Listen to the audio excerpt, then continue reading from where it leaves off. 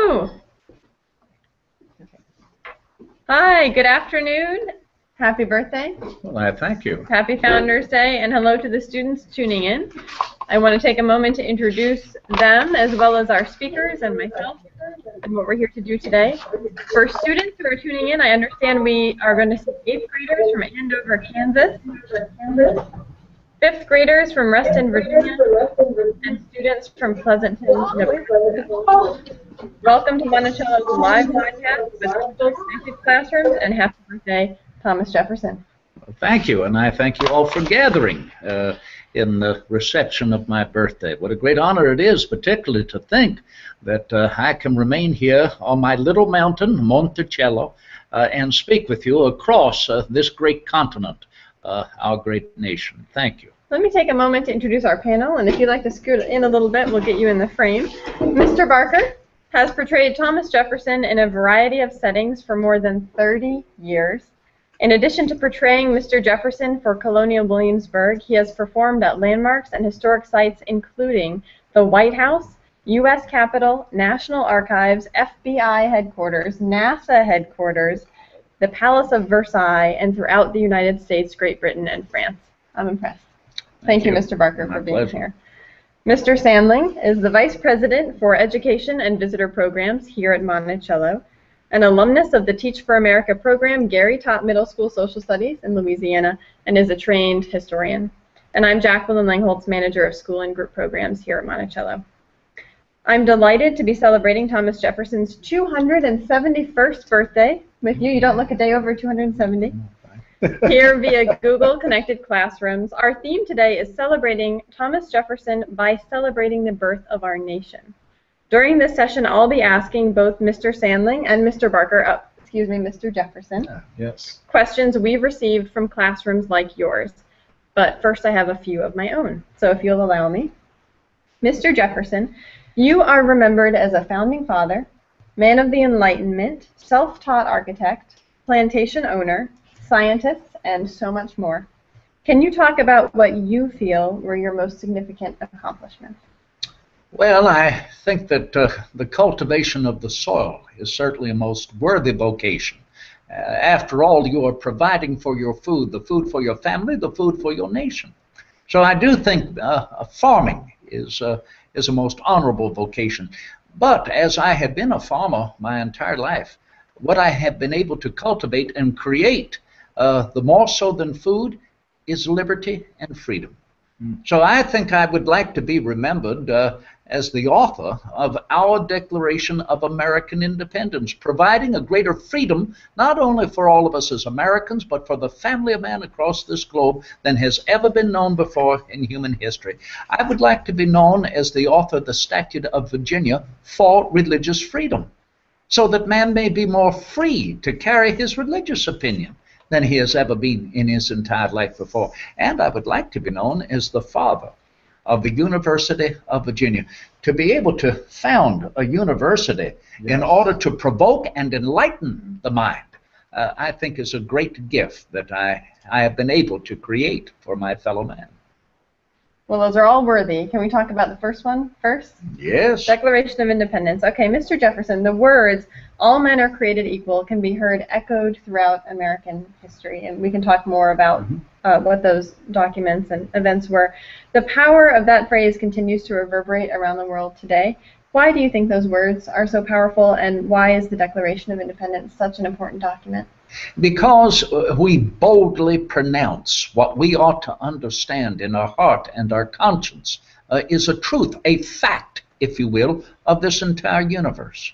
And that is that we are all born equal. It certainly does not mean that we are all born equal in face and form. I'm very happy that Miss Langholtz does not look like me. That's to your benefit, madam. I may like say, oh, no, no, no. Nor are we created equal in mind. Uh, some of us have minds that are a bit quicker. Others of us have to take our time. But the point is, are we all born free in nature? Well, of course we are. As the birds and the trees, the flora, the fauna, we are all created equal in nature. That is the law of nature and nature's God. So we are free to declare, you see, and therefore we must declare that these are the inherent rights. uh, that are given to each and every soul upon this globe. Now, maybe Mr. Sandling, you and I can talk about that a little bit more. And Yes. uh, we were talking before this broadcast about that phrase, all men created equal, and, and we were thinking about some of the more famous speeches and documents that we've seen it in, notably uh, Rights and Sentiments at Seneca Falls for women's right to vote, Yes. uh, the Gettysburg Address, which we just celebrated the 150th anniversary of, 19, uh, 1863, yes. correct? Um, 50, 100 years exactly, pardon me, after that, in 1963, March on Washington for Jobs and Freedom, Martin Luther King Yes. echoes that phrase, and we just celebrated the 50th anniversary of that. And then I was watching the um, second inaugural address by um, our President Obama, and he quoted that phrase numerous times.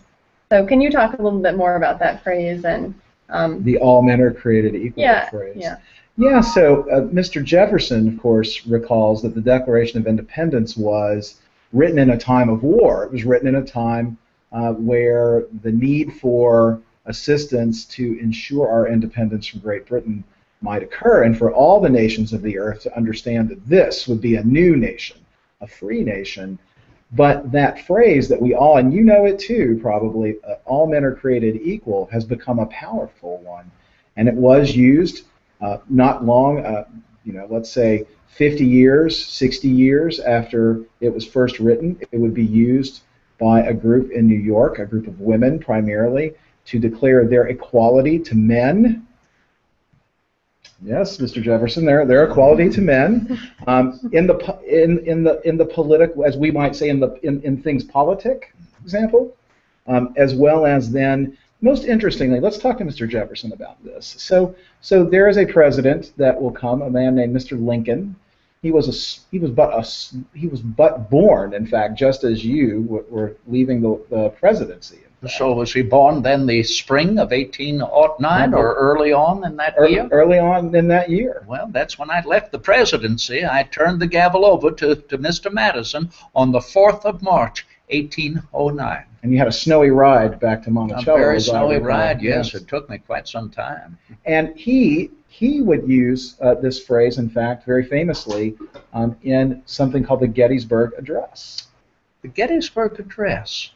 And, and when did you say this is written? Well, he begins the address by saying, Four score and seven years ago, Four score and seven years ago. And what year would that have been that he is uh, saying this? in 1863. 1863. Well, Correct. four score and seven years ago, before 1863, a score being 20 years, four score and seven, that would be 1776. Yes, it would.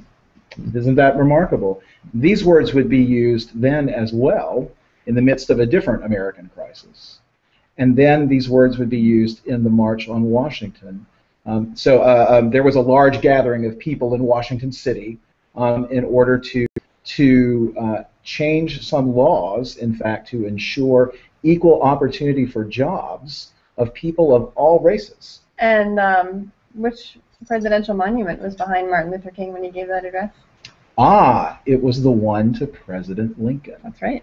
Hmm. So there are some monuments in Washington City now, You've Mr. got one, Jefferson. don't you have you- one you've got too. one. Well, I, I care not to have a special monument by any means. I hope that our nation, let alone our Declaration of American Independence, may be the monument by which the rest of the world may understand uh, we own up to the principles upon which our nation has been founded. Maybe let's talk about uh, Ms. Langholtz about uh, why it is that we have Mr. Jefferson. We, we have Mr. Jefferson with us today. Here today. What's so special about uh, why we're all gathered here today? Sure. Well, um, earlier this morning there was a big party on the West Lawn, which is pictured behind you here. So we're doing this broadcast from Monticello's classroom spaces, where we invite students when they're on their field trips uh, to do school programs. But there was a big party in your honor, and the Fife and Drum Corps was there, and we had distinguished speakers, and uh, we celebrated your 271st birthday, and I enjoyed some delicious cake to celebrate you.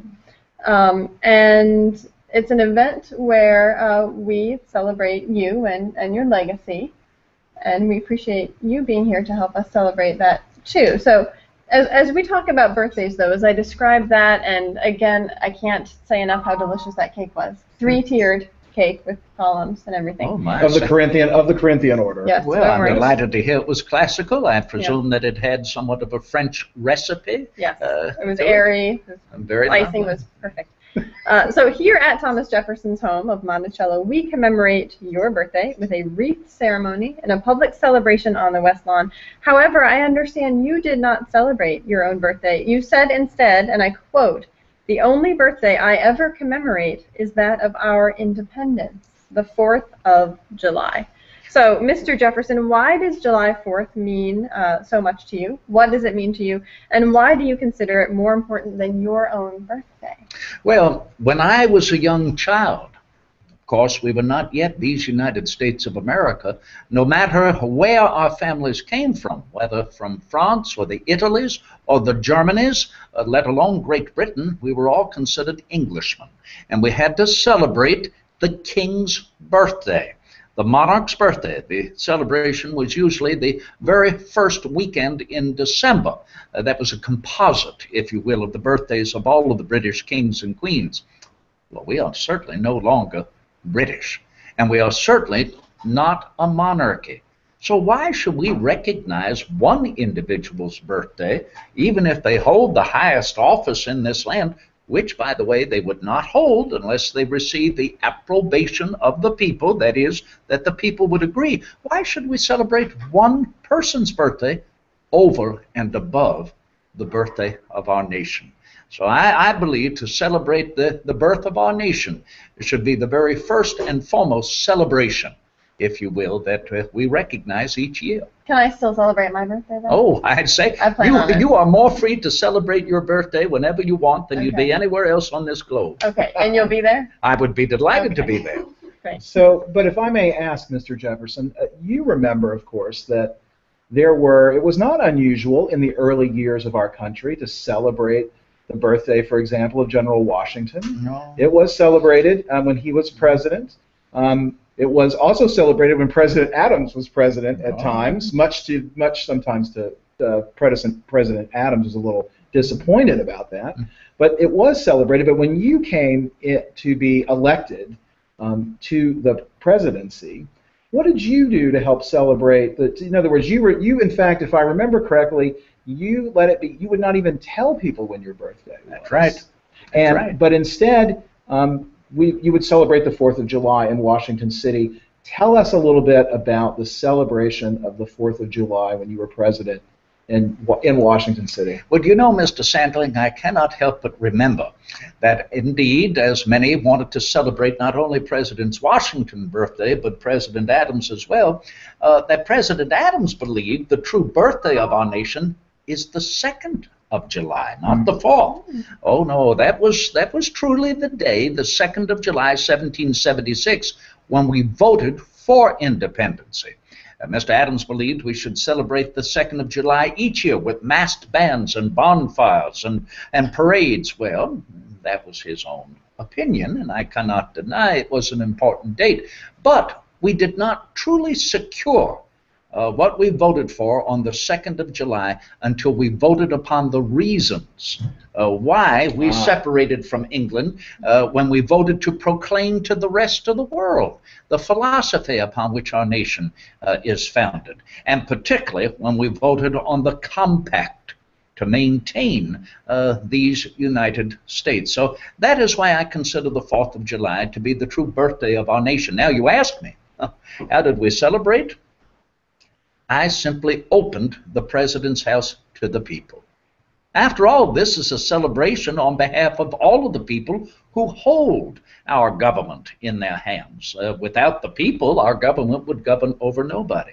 Uh, it is the people who allow our government to be to exist. So I opened the doors of the president's house and I shook hands with, I think I counted three thousand American citizens who came to visit me in the president's house.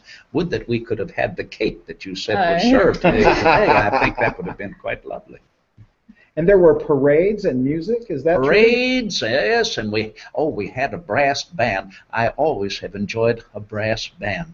And do you know, uh, in my first inauguration, I was still living in a boarding house. I had not yet moved into the president's Is house. that like what we would call a hotel room, A maybe? hotel, Like that is hotel? correct. Yeah. And uh, here I walked out of doors to walk down but two blocks to the as yet unfinished Capitol building. Then I was not only accompanied by quite a number of the people, but also uh, the Marine Band. Uh, a number of Marines in our Marine Corps uh, enjoyed playing the instruments uh, that they had learned uh, from the time of their youth, and they greeted me with a special serenade as we walked two blocks to the Capitol building. So, upon that occasion, I formally uh, named the Marine Band the President's Own. So, yes, on that particular 4th of July, 1801, my first as president, Yes. opening the President's house to everyone, the Marine Band was there to play the President's Own. That is fascinating. And what do you think the Fourth of July means to well to you, Mr. Jefferson, and, and to those who who were part of the revolutionary generation? The well, perhaps I should just ask you to speak for yourself. What does the Fourth of July mean to you? Uh, it reminds us, as it, I hope it does, as it reminds me, uh, that the ball of liberty continues to roll round the globe, that all eyes are opening and will continue to open to the inherent rights of man, meaning simply, as we discussed earlier, that all men are born free. That all men, and that means all mankind. It includes the ladies, of He course. means he means girls and women. I, I do. Everyone. We're all born free. We speak of mankind. And that means everyone across this globe. And that is what our nation is dedicated to, uh, well, to pronounce boldly and hold tightly as indeed a charge, a charge on our behalf, our responsibility on behalf of the rest of the world. Mr. said. Sandling, Yes. what does July 4th mean to you? It's a good question. Uh, July 4th means to me that it's a time, it's a day where we can all remember, and that's us and all of you can remember what it is, the, the rights that make us Americans, the rights that we think are so important, as well as our responsibilities, the things we are to do because we have those rights.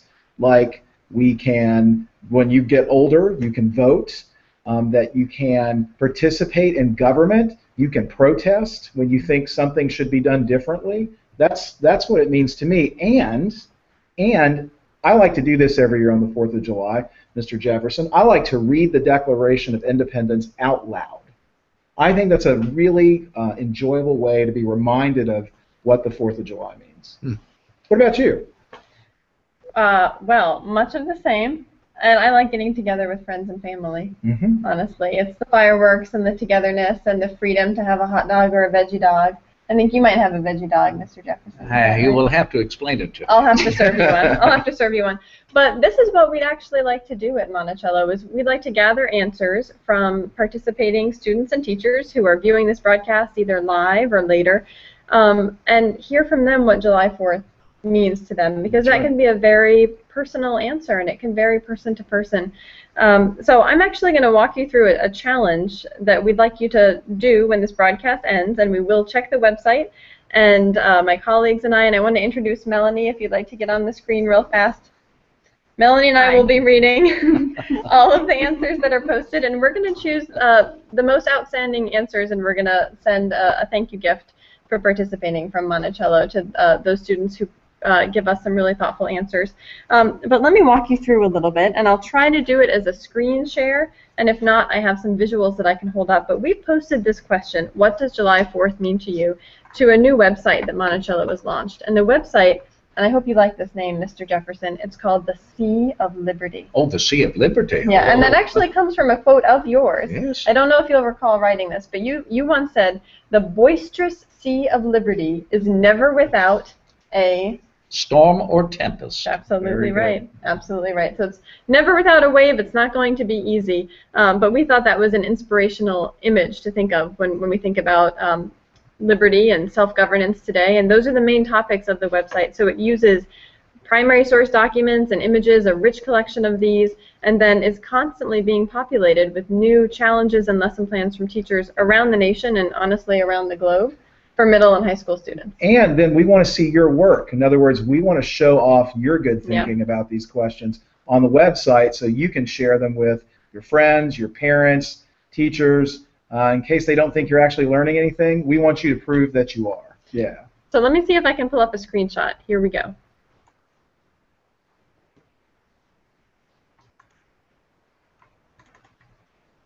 Ooh, something really fancy just happened. Okay, I'm gonna I'm gonna log in here to seaofliberty.org, and we are signed in. From this main website, I'm gonna go to Teach. Teach is for teachers. And then it's one of our featured challenges here. I could also click on Declaration Double Take. I'm going to click on What does July 4th mean to you? And here's the challenge question. July 4th brings to mind fireworks.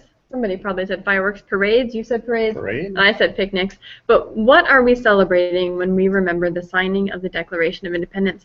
What does July 4th mean to you? And then there are instructions there for completing the challenge. So we look forward to seeing your responses on the website, and we will check back in for that. Um, so if you feel ready, we have a little bit of time left over. And what we have are some questions that were submitted by um, classes that are not on the live broadcast today. And then we also have students in front of us who may have questions of their own. So let's start with students in front of us who may have questions of their own.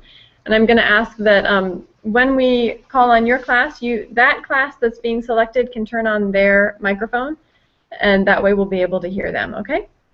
So maybe if I go ahead and pull this up, do you think that's a good idea here? Mm -hmm. So this would be Nebraska. Okay. Let's hear let's hear from students in Nebraska. Okay, we have one. Stand up and introduce yourself. I'm Kylie, and why do you want to be a president? Oh, why? And could you repeat the question? Yes, young lady asked me why did I want to be a president. Well, that is a very good question, I, I must say, but I must tell you this truly.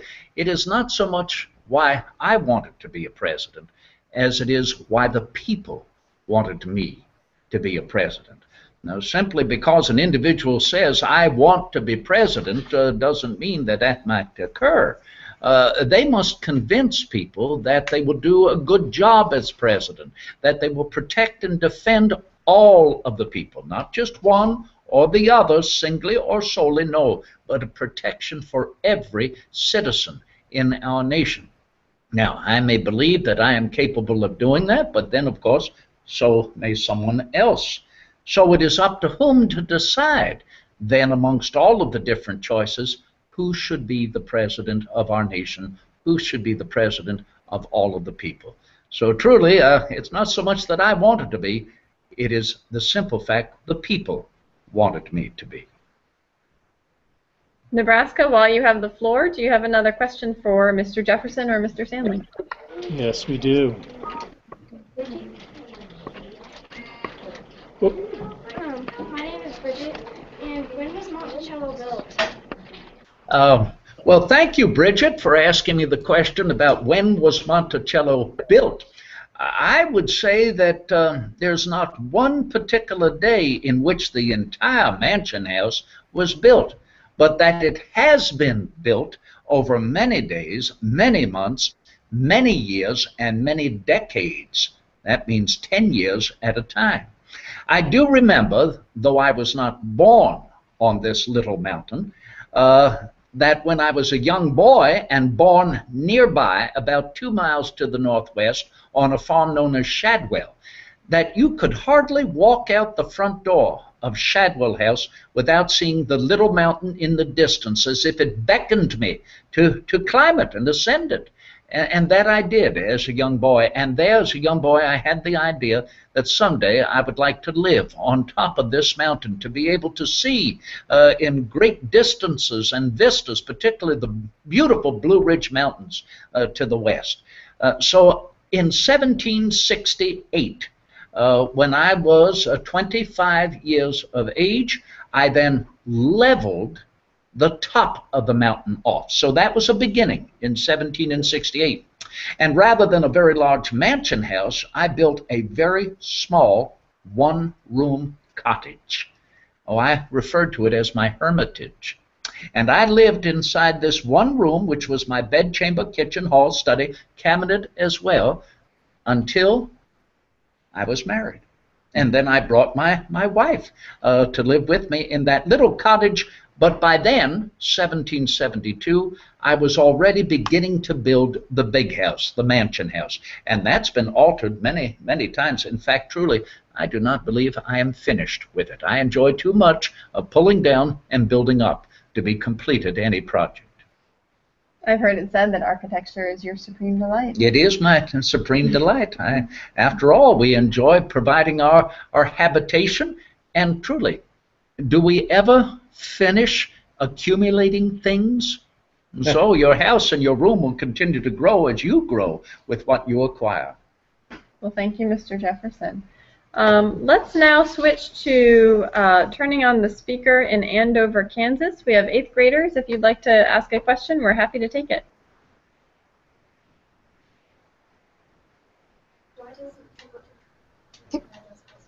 Why don't you want to re- be remembered for being a president? Why do I not wish to be remembered for being a president? That's a very good question. Because I am not the only president. There were two presidents before me, and I am hopeful there will be many, many, many other presidents after me. And can you imagine as well, the more presidents we have, well, it becomes the more difficult to remember who was president and when. But that is the nature of our nation. That is what we are all about. That as a child of 14 cannot wear the same clothes at the age of 40, our laws and our institutions grow as we grow as a people. So, how significant it may be that I am president as at a particular time, uh, it makes no matter when we consider the many eras, the many ages, and the fact that our population grows. After all, when I was president, our women folk could not vote. Do you think that someday there may be a woman who is president? And who would then ever want to remember me if we have our first female president? True. But there can only be one primary author of the Declaration of Independence. Well, one I author of the thank you Virginia for that. One father of the University of Virginia. Well, true, but but then remember, I was one of five men appointed to a committee to write the Declaration. In fact, we thought Dr. Franklin would initially be the author. Hmm. But I remember he said he was growing too old to have anything else he may write suffer the scrutiny of a committee. He looked at me the same time Mr. Adams did. It was truly Mr. Adams who said, I think Mr. Jefferson writes better than anyone else in Congress. And he reminded everyone a Virginian ought to be at the head of this business. But they did proofread your document a little bit, right? Well, that's what a Would that committee be is fair? all. That's what a Yes, they certainly Yeah, did, and many had opinions as to how it might be changed, particularly Mr. Adams. You might Yes. recognize this. Well, that's my first draft. Hmm, There it is. It took me uh, three days to write the first draft of the Declaration on four sheets of paper. This is only two sheets of paper right here. I wrote on four. And the reason it took me so long is, well, I suffer as we all do by making mistakes. Is it easy to erase ink? I had to cross out, as you may see, my mistakes and write the corrections above or beneath it. At the end of the day, I could not even read my own corrections. I had to transcribe it that evening and then continue the next day. So three days uh, to write our declaration. You can keep that if you need. Thank you. I want it back. Uh, Andover, Kansas. That was a great question. Do you have one more for Mr. Jefferson? yeah. Um. Why did you own slaves, but yet you were against slavery? Good question. Very good question. I can only answer. I was born into the society of slave owners. Uh, I inherited the great majority of my slaves from both my father and my father in law. And so, therefore, coming into the inheritance of what we know is a bad habit, a bad custom, and which is also secured by law, well, how much longer can it continue? And what a great burden and responsibility one has on their shoulders to decide how we ought to eradicate this, how we ought to end it after it has been with us for so long. There is no easy or immediate method. And in fact, were I to break the laws and free all of my people, I, I rarely refer to them as slaves, they are my people, well, then they would be the victims of my neighbors, many of whom who do not want to get rid of their slaves. Uh, and they would try to capture my slaves. They would tar and feather them, perhaps kill them. It'd be more an act of inhumanity than it would ever be an act of freedom. So my my opinion is rather than break the law, let us build a consensus that is a general agreement to change the law. And that will not happen overnight, particularly when we realize most people have not the opportunity you all have, and that is an education. Oh, education, more than anything else, will help us to better understand one and the other, help us to understand our differences of opinion, and help us to understand what can bring us all together in order to better our lives. And that means for everyone. So I beg pardon that, uh, that I do continue to own slaves, and truly the deeper in debt I have become, my slaves are now more the property of my creditors than they are my own. Uh, so this is a great challenge I must face up to, but then remember, so must our entire nation. I even wonder, Mr. Sandling, do you want to add anything to that answer on behalf of Monticello and how we interpret Jefferson and slavery today? Because it is one of the major themes. Sure. Yeah, it's a good question. We think it's one that's it's a question that we all ask, and that certainly when you visit here, it's a question you will overhear many visitors say, not just uh, folks like you in school, but adults as well. And you know, we know that for Mr. Jefferson and for his generation, there were some people who were very adamant that there should be abolition, that their slaves should be freed immediately, and there were others who had great concern about it. Uh, there was uh, there were many practical challenges with manumission, uh, but the free population of African Americans began to grow even in places like Virginia, where slavery was still, of course, legal. Um, and as we all know, Mr. Jefferson himself, late in life, uh, was asked to comment on the Missouri Compromise, Oh. which some of you have learned about. They know they these some of these students know about Mm. the compromise in 1820, Mr. Jefferson, that essentially meant that slavery would be allowed to persist in the southern states, but would not for any new states admitted to the Union. Like all of you in Kansas, you know about this. You know about the bloody war, the Jayhawker wars that came out of this eventually. But what did you fear would happen if slavery was left to Oh. one part of the country but not uh, in another? Well, this is just the point, Mr. Sandling. We were drawing a line across our nation, particularly out west in what I hoped would be the new Empire of Liberty, uh, that is the Louisiana Territory. Now, can you imagine, in a nation devoted to the principles of li- liberty and freedom for all, that we are drawing a line to decide who should be free and who will continue not to be free? Good heavens, this was an abomination. And I wrote when I learned about the Missouri Compromise, and I had great faith in Senator uh, Clay to reconcile this. After all, we both read law with Mr. George Wythe. I thought he would understand the necessity of allowing Missouri to come in as a free state, but no, it did not happen.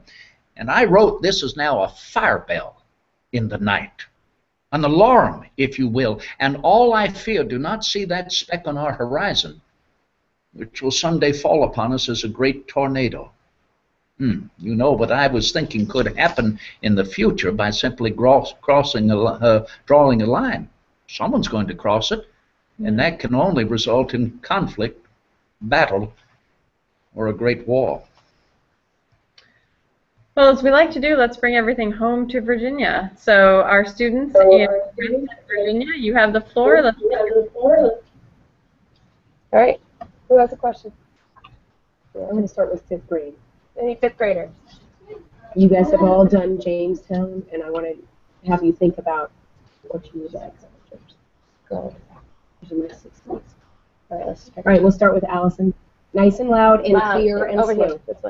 Um, you say in the Declaration of Independence, you say all men are created equal. What about African Americans or Oh. slaves? So That was all men are created equal. How do you feel about African Americans or slaves? in the None, Nonetheless, uh, they are absolutely all mankind is created equal. Uh, as you heard me mention earlier, it does not mean that we are created equal in face and form, uh, nor are we all of one particular color or of one particular mental capacity. Some of us have minds that are sharper and more quick than others uh, that must take their time. But yes, all mankind, regardless of their color, regardless of their religious opinion, regardless of their language, we are all born free into this world.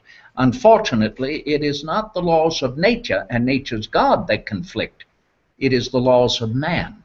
And that is why we, education is so necessary to help us understand how we can correct the laws of man that do an injustice uh, provide greater freedom for some, uh, whereas not for others. So no, no, whether one is of African American heritage, uh, whether one is of Germanic heritage or Asian, uh, if you will, we are all born equal. We are all created equal. Okay, Reston, Virginia, do you have another question? We do. We're gonna have her come a little closer. Okay. So, if you're saying all men are created equal, sorry, but why weren't you thinking about like the African American slaves when you wrote that? We were, in fact, we were thinking about who. I mean, because when he's saying all men are created equal, but at the time they weren't because some were born into slavery. You're absolutely right. And so I ask you, is that the law of nature, nature's God, or is that the law of man that is conflicting? We are, we are pronouncing boldly what we consider to be the laws of nature and of nature's God. We are all his children. We are all the family of man across this globe. I should not be silent upon that subject, nor not write anything about it. As I said earlier, we are born free to declare, and therefore we must declare that these are the inherent rights of man. Oh, I know that many might uh, say that is a contradiction, that is a great hypocrisy. But mind you, they are certainly free to say this while we are free to answer and help explain that these principles expressed in our Declaration of American Independence apply to everyone, particularly those who are enslaved, that we might thereby make it better uh, for them uh, or certainly for future generations. Uh, and it will take quite some time to break old habits and old customs, particularly to change the law. Sorry. You might be thinking what I'm thinking, Yeah. but I mean, Mr. Jefferson, you get a lot of heat for contradiction in your own life, mainly because you penned this phrase that is so powerful that we continue to echo. But I, I was going to ask, do we feel that we've arrived at a good stopping point? I mean, are rights equal for all today? And is it only about looking back and saying, well, why didn't you do this or that? I'm, I, well, I'll say one of the things that keeps me motivated and inspired working here at Monticello is thinking about how those words are applicable today. Absolutely right. The reason is simply the work is not done. I, I, have tried to do as best as I can during the time that I occupy this globe. But as I've always said, the earth belongs to the living, Living. generation. Yes. Uh, the dead hold no power over us. Uh, and therefore, the past is so important that we remember where we have been in order to better understand where we are and surely where we must proceed and where we must go. That is why I've always said if we can institute a universal system of education in our nation, and I fear that I may live not to witness that, but it does appear that you have the opportunity. And if we can have a system of education throughout our nation, history should be our first read so that we do not forget where we have been in order to better understand our charge and our responsibility to continue to move forward and make these principles of equality applicable, that is, to apply to every single individual. And that is why I've often said uh, freedom uh, requires a, a, vigilance and a constant atten- attendance to it. Um, And this is why, in fact, we think it's important for all of you to look at and think about these how other people took Mr. Jefferson's famous words and used them to achieve the very thing that you're asking him about.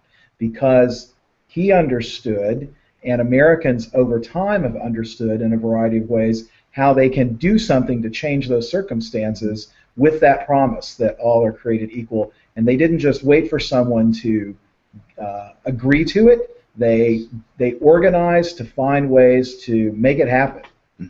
I, I must tell you, I have to admit this, and I, I'm not ready to uh, to so easily admit my faults, although uh, one is the more honest when they do.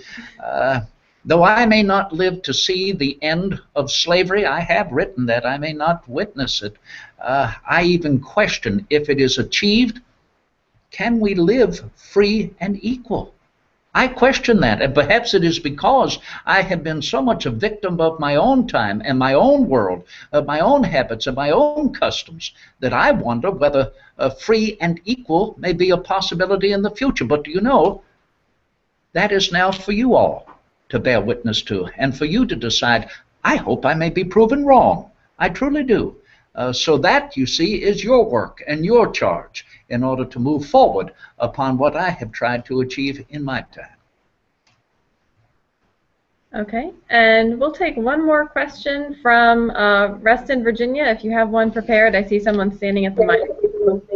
Yes, we do have it. And it's a good one. So, um, after purchasing the Louisiana Purchase, what did you do with that land?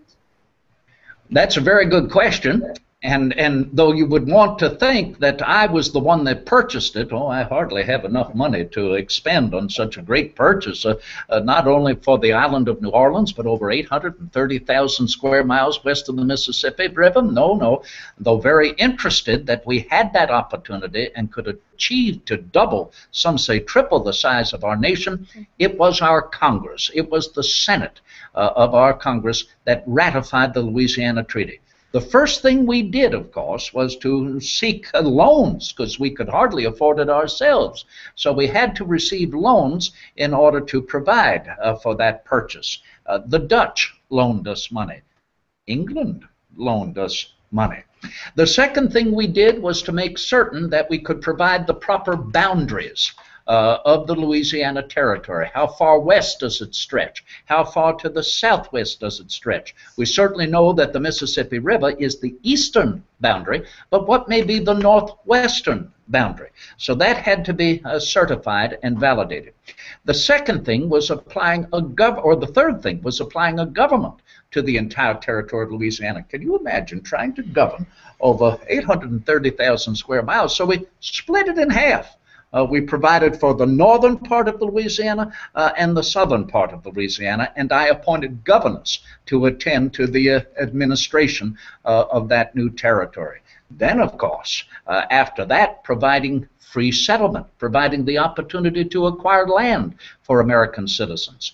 And you can imagine, as I wanted to think of this as our new empire of liberty, I certainly did not want many citizens bringing their goods and chattels in slaves uh, to the Western land. But even a president cannot deny one's rightful ownership of property, even though I do believe it is a misnomer to, to think that an individual could be called uh, property. Okay. Well, thank you. I'm so glad we've been able to take live questions, and as I look at the questions that were submitted by students, many of them overlap. So I think we can call this a successful Google Connected Classroom, the first, hopefully, of many. Thank you for coming here, sharing your birthday, and it is on Sunday. Is that right, April 13th? Well, April 13th. But then, of course, uh, when I was born, we were not, uh, we did not accept Pope Gregory the 13th's calendar. No, you see, when I was born, Great Britain, as we were considered Englishmen, were still using Julius Caesar's calendar. So I was born on the 2nd of April in 1743. Uh, but then nine years later, when Great Britain accepted Pope Gregory's calendar, well, then I added 11 days and celebrate my birthday on the 13th. I think you're trying to get two birthdays. It was July 4th. I think you're trying to get three birthdays. Can't stand it. Three birthdays? Well, don't tell anyone if I can enjoy. Students, we'll give you a round of applause. Thank you so Thank much for tuning in, and we'll see you next time. All right. You got some waves. Oh, thank you for the clap. Thank you very much. Wave. Bye. Bye. Thank you. Bye. We'll see you on seaofliberty.org. Okay. Confirm exit.